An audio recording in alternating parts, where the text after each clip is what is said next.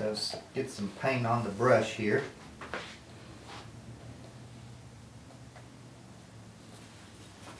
And get this thing started. So uh, another thing that you need to do is is pull pull the paint out. Don't let it build up on you.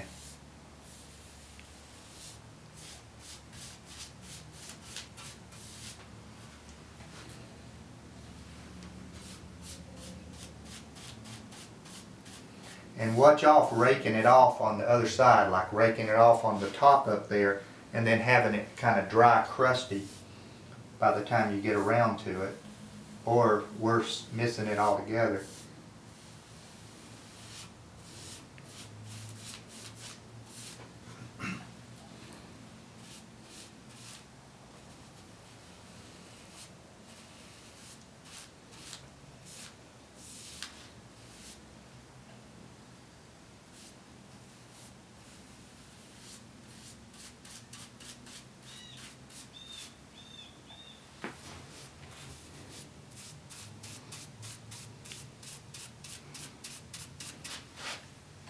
While it's upside down, I'll paint the bottom of the arm rail.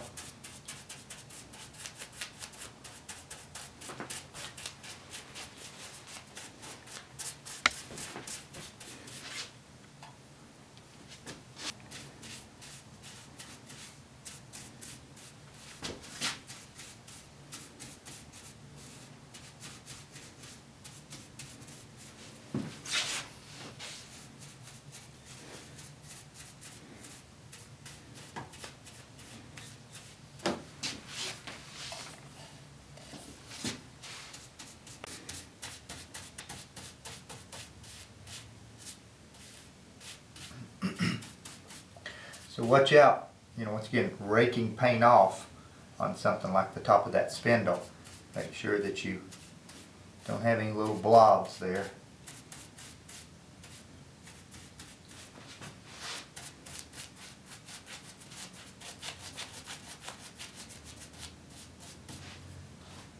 Let's see. Go down here and get the top of the comb, bottom of the comb.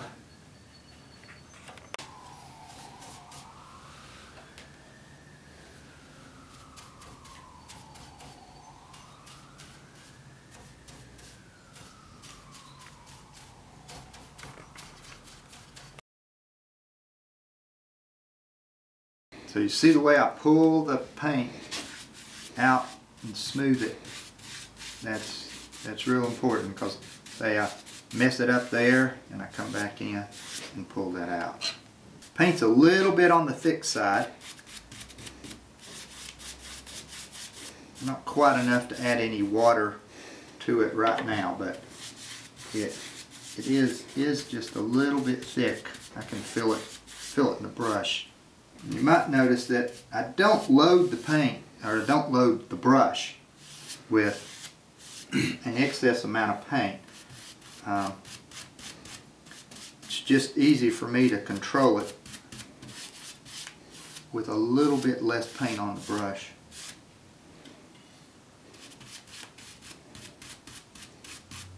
And of course I'm always going with the, the long wood fibers.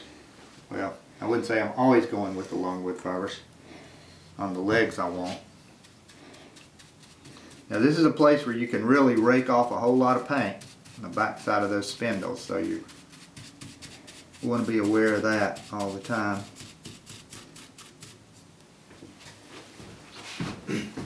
Just walk around instead of moving the chair.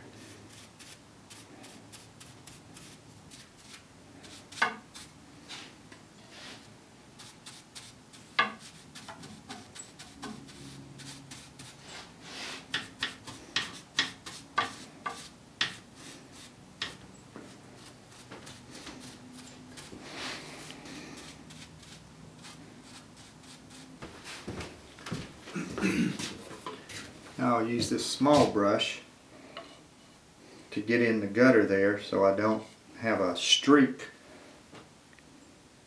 running cross grain.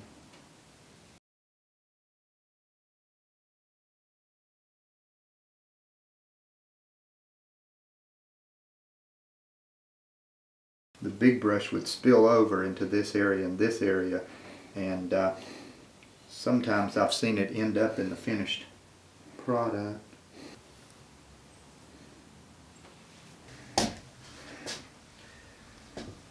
So with the legs, I do break my rule of painting with the wood fibers.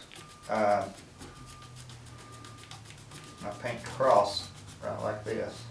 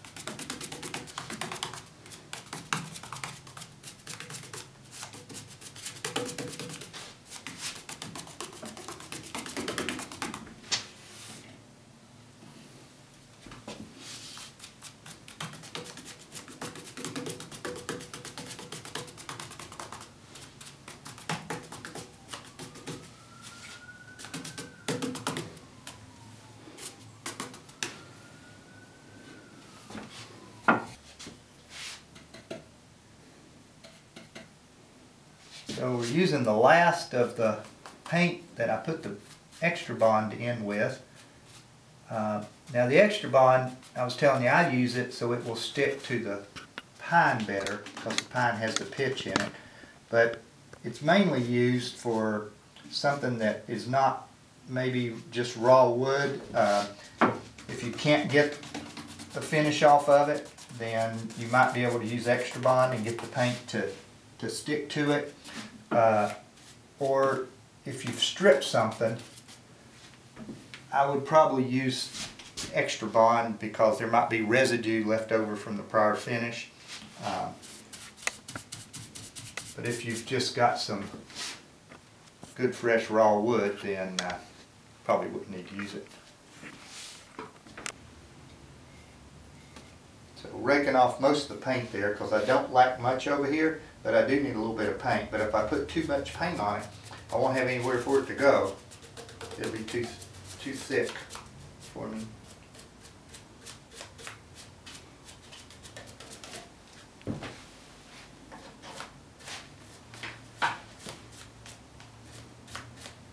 Can't forget the bottom of the bird's beaks.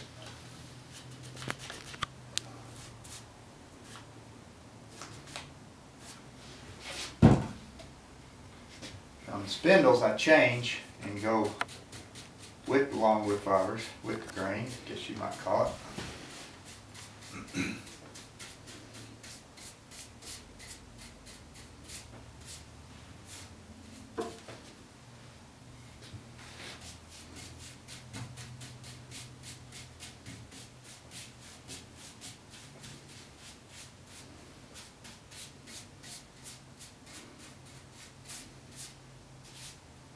Always pulling it, pulling it out and making sure that I haven't raked any off over here. And uh, as I said earlier, I thought the paint was looking a little thick, and it was with that extra bond, but uh, this right here is, is just right. Now it'll, it'll thicken up because it continues to settle down to the bottom and I keep it stirred up all the time. But still eventually, when you get down a little ways, it'll be thicker and I'll have to add a little bit of water to it.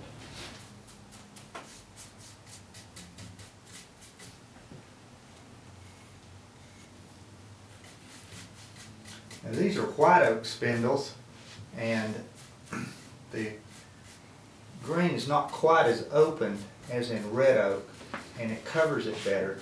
In red oak, that open grain of the early wood, the milk paint really has a hard time getting into that. And uh, uh, on the second coat, it'll really show it up and I'll go in there and start going sideways and try to scrape it off inside that. But the, the white oak has a, it have a little bit of that.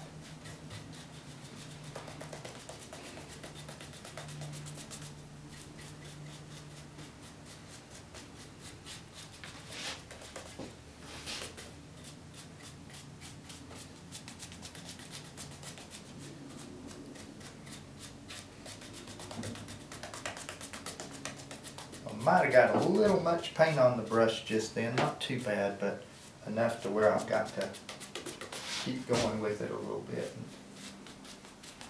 See if I got it. Try to spread it out.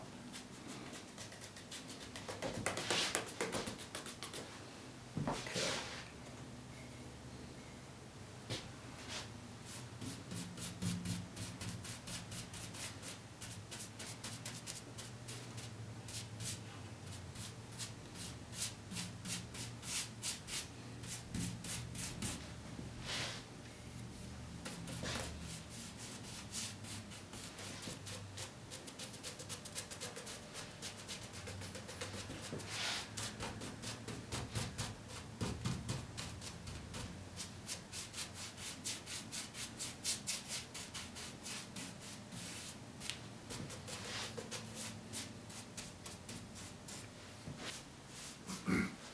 So some of you who aren't familiar with painting Windsor chairs might ask, why would you paint that chair for? Uh, well, that's a good question, I guess. And before I started making them 30 years ago, I wondered why in the world would you paint them? And now I couldn't imagine not painting a traditional one. Uh, I do some contemporary ones that aren't painted, but uh, uh, uh, first off is the 18th century chairs were painted, so historically they were painted, but that's neither here nor there with me really. Uh, the other is they're made out of a variety of, of woods, so they wouldn't necessarily match each other, and they have to be made out of a variety of woods to make the best, the best chair. But more importantly for me is the design of the chair seemed to have developed around a unified surface, a painted, a painted surface. And that's what I still do whenever I'm designing a chair, is I'm looking at it in terms of being one solid color. Uh, and so all the detail that I'm looking at is in that, is that way. Uh, there are, I've seen some nice looking Windsors that people have made that uh, they haven't painted and they just put an oil finish on them or whatever. Uh, and to me, they look they look okay. I just think you can't see the chair quite as well unless you unless you paint it.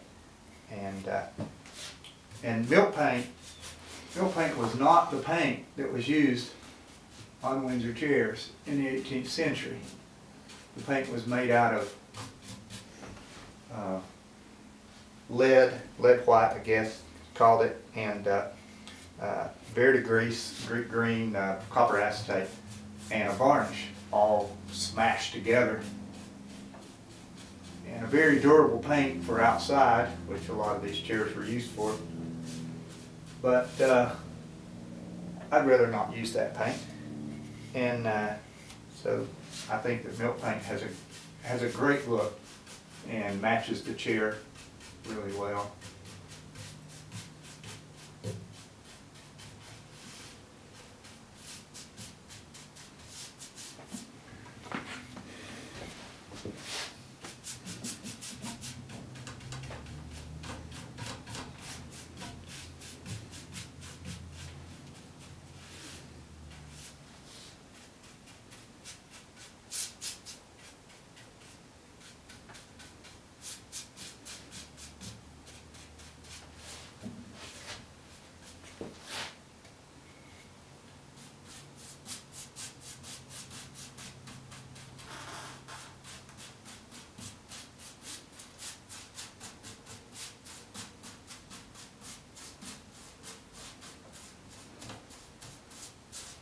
So you saw me crushing the brush in there. That was some of that open grain of that oak and I was trying to force the paint down into it like the same way as right here. I can see it not getting in there and so I just spend a little more time on top of it and then smooth it out. You know, right there you saw me go sideways to kind of rake some of it into there.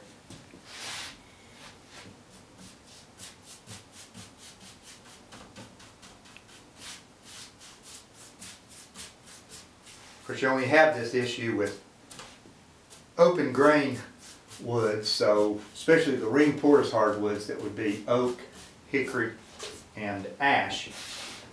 Uh, there's some semi-open grain uh, woods, walnut be one of them. Not too many people paint walnut.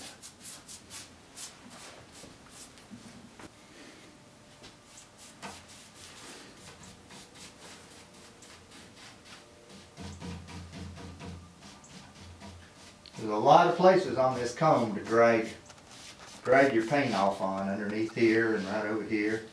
So, pay attention to that.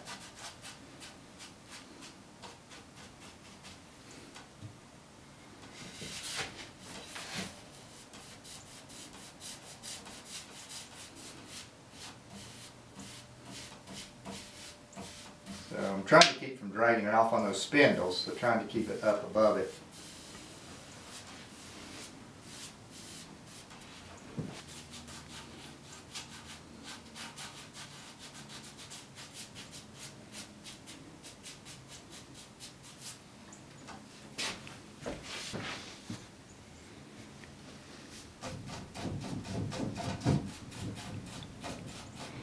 Always tricky inside this carved ear.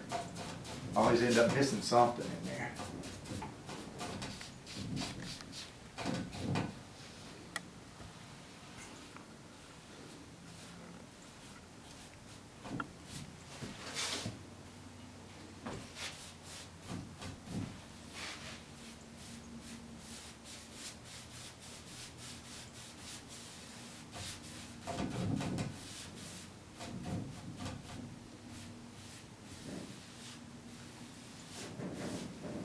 So picked up a drip right there, and you definitely want to get those.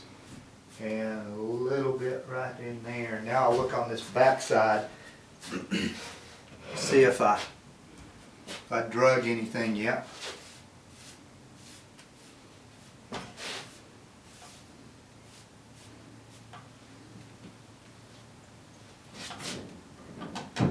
Okay, don't think I left out any major parts like a spindle or something. Uh, you know, I always hate to put my paintbrush up and then turn around and, you know, walk around back of the chair and forgot to paint the whole back of all the spindles. Uh, so, uh, okay, I think, I think we got a first coat on the chair.